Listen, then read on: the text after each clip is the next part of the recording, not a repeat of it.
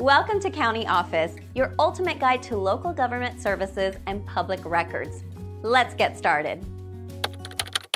What disqualifies you from unemployment? In Forsyth, Georgia, End unemployment disqualifications in Forsyth, Georgia include voluntarily quitting a job without good cause. If you were fired for misconduct or violating company policies, you may be ineligible.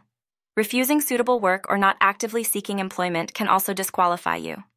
If you are self employed or an independent contractor, you may not be eligible for unemployment benefits.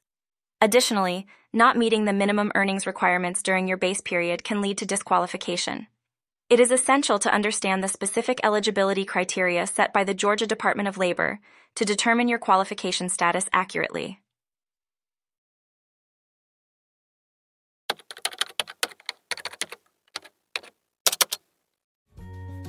To learn more, check out these links, which you can click in the description below. And feel free to comment your questions. We're here to help. Thanks for tuning in to our video. Please like and subscribe and leave a comment below. See you in the next video.